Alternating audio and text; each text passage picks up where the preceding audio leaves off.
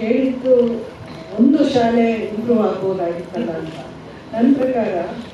Because ನನಗೆ ಇವಾಗ cinema ಬಿಟ್ಟು ಬೇರೆ ಒಂದು ಲೈನಲ್ಲೂ ಒಂದಷ್ಟು ಎಕ್ಸ್ಪೀರಿಯನ್ಸ್ ಮಾಡ್ಕೊಂಡು ಬಂದಿರೋದ್ರಿಂದ,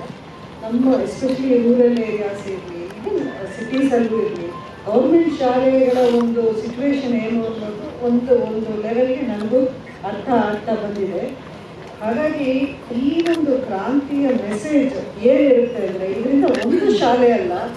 ಹಲವಾರು ಶಾಲೆಗಳಿಗೆ ಒಳ್ಳೆಯದಾಗುವಂಥ ಒಂದು ಸಂದೇಶ ಇರುತ್ತೆ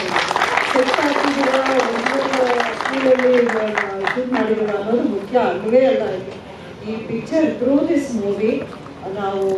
ಪಬ್ಲಿಕ್ಗೆ ಯಾವ ರೀತಿಯ ಒಂದು ಮೆಸೇಜ್ ಕಲ್ಪಿಸ್ಬೇಕು ಅನ್ನೋ ಉದ್ದೇಶ ಇದೆಯಲ್ಲ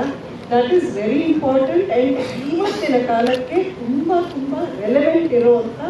ಒಂದು ಟಾಪಿಕ್ ಒಂದು ಮೇನ್ ಸಬ್ಜೆಕ್ಟ್ ಥ್ರೆಡ್ನ ಇಟ್ಕೊಂಡು ಮಾಡಿರೋದು. ಸೊ ಐ ಥಿಂಕ್ ಇವತ್ತಿನ ಕಾ, ಒಂದು ಟೂ ತೌಸಂಡ್ ಟ್ವೆಂಟಿ ತ್ರೀ ಇವಾಗ ನಾವು ನೋಡಿದ್ರೆ ಕನ್ನಡ ಚಿತ್ರರಂಗ ಎಲ್ಲೆಲ್ಲೋ ಹೋಗ್ತಾ ಇದೆ. ವಿ ಆರ್ ಸೋ ಎಕ್ಸೈಟೆಡ್ ಈ ಒಂದು ಕಾಲ. ನಾವು ಎಕ್ಸ್ಪೆಕ್ಟ್ ಮಾಡಿರಲಿಲ್ಲ ಈ ಮಟ್ಟಕ್ಕೆ ಒಂದು ಪ್ಯಾನ್ ಇಂಡಿಯಾ ಆಗಲಿ ನಮ್ಮ ಕನ್ನಡ ಸಿನಿಮಾ ಎಲ್ಲ ಕಡೆಯೂ ಒಂದು ಸೌಂಡ್ ಮಾಡ್ತಾ ಇದೆ ಅಂದರೆ we are also happy and proud ಅಂಥ ಒಂದು, ಆ ಪ್ಲ್ಯಾಟ್ಫಾರ್ಮ್ ಟೈಮಲ್ಲಿ ಕ್ರಾಂತಿ ಅನ್ನೋ ಸಿನಿಮಾ ಬರೋದು ನಿಜಕ್ಕೂ it is very very very important and relevant thing and I hope ಆ ಒಂದು ಮೆಸೇಜ್ ಎಲ್ಲರಿಗೂ ಕನೆಕ್ಟ್ ಆಗಬೇಕು ಅಂತ ಇವನ್ ನಾನು ವೇಟಿಂಗ್ ಟು ಸಿ